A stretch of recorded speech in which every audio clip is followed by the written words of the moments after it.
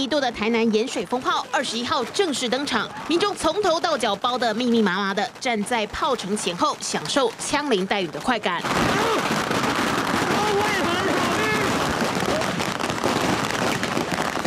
风炮直冲云霄，让民众大喊刺激。虽然大家都惨遭风炮攻击，不过被打到的人今年都会忘，因此被风炮打到发麻的民众都笑得特别开心。刚有没有被那个风炮打到？有啊，刚才在背后炸掉一把，痛吗？很痛吗？不会不会痛不会痛，只是初试提升而已啦哈。那么最重要呢是要等到明天元宵节当天呢，大家预计在晚上九点的时候呢，就会有所谓的主炮城，到时候会在盐水国中操场释放。那么今年的主炮城呢，大约预计需有六十万发。